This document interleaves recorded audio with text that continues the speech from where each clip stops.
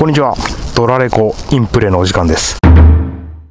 ずーっと考えてたんすよ。ドラレコどうすっかなーって。やっぱあった方がいいよなーって。でつけました。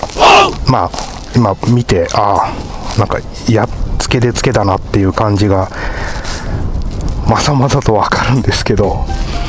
一応仮付けです。電源もあのたまたま自分ここに USB の電源があるのでここに挿して電源が取れました。で、えっと、一個一個ちょっと説明していきます。まずポイントは前後のドラレコ。どういうふうにつけたかというと見えるかな？ここです。これちょっと悩んだんすけど近いっすよねここが。これもしかしたら危ねえかもな。これが深く沈んだ時にここが干渉しちゃう可能性があるんでちょっと取り付け位置はまだ悩んでます。でカウルの中線通してここまで本体まで来てるっていう。でもう一個後ろのカメラなんですけどこれもね俺フェンダーレスだから非常につける場所悩みました。最初この上にポコンとつけたんですけどこれシートバッグとか置いたら邪魔だよなって。でしかもここにあからさまにカメラがボンと乗っかっちゃうとうんどうなんだろうって。ちょっとそんな試行錯誤して結果つけたのがもう両面テープほぼ機能せずここのナンバーの後ろのところにもう今タイラップでここ切ってくるの忘れたなこれ。くくりつけてるだけです。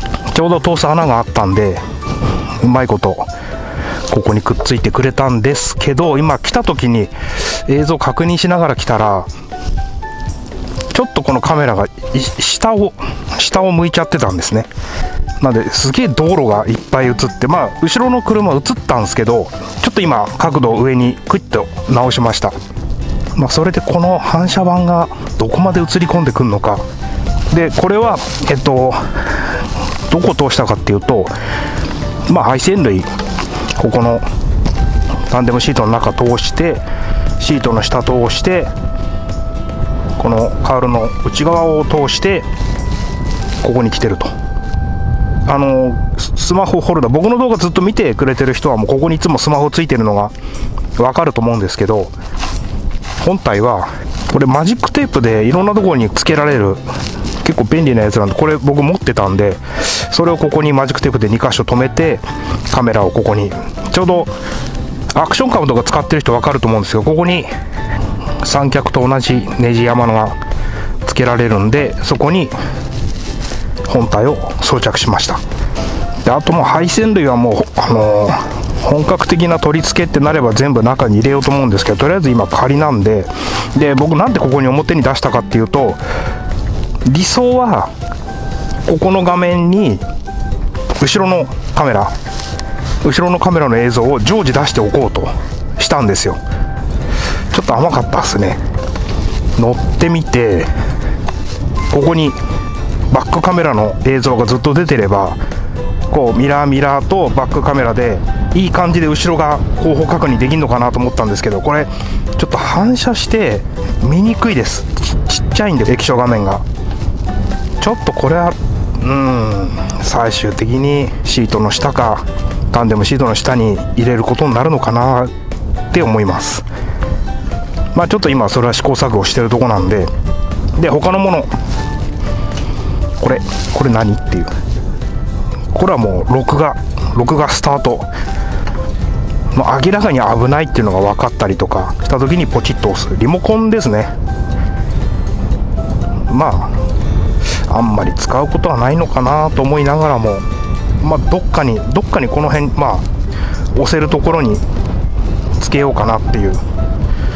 であとはこの辺ちょっとぐちゃぐちゃになってますけどこれ GPS です。これ上向きでつけておくと時刻合わせとかが自動でやってくれます。それをこうぐるぐる巻きにしてここにとりあえず巻きつけてます。まあ、あと前のカメラからの線が来てるのと後ろのカメラから来てる線がここに来て設置されてます。ドラレコの、まあ、当たり前というか当たり前の機能なんですけど電源オンで録画スタートオフで録画停止っていう。で一回やってみます。オン。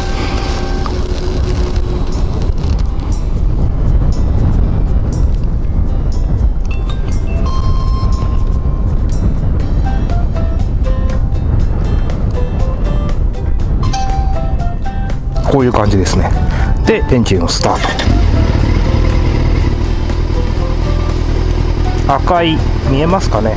赤い録画してますよマークと右側に録画時間。で今これ2画面に小画面と大画面になってますけどここの矢印の左側で変えられます。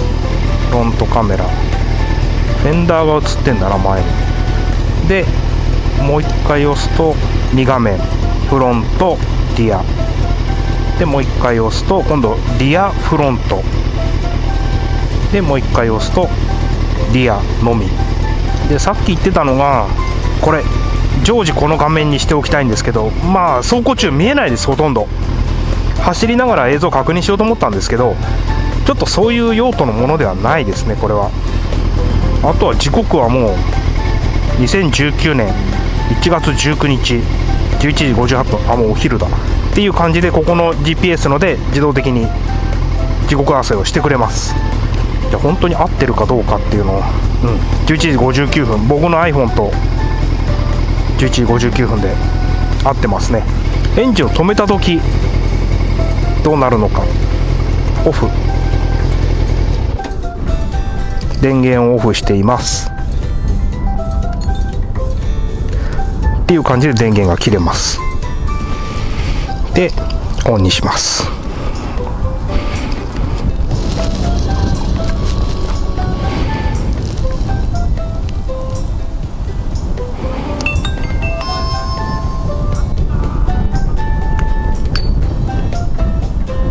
うん。デフォルトの画面はこの2画面なんだな。フロントリアで。フロント大きいのリア。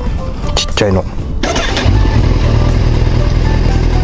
一応そんな感じでドラレコを装着したんであとは日中どう撮れるのか夜どう撮れるのかその辺を映像と一緒に伝えられればなとは思います。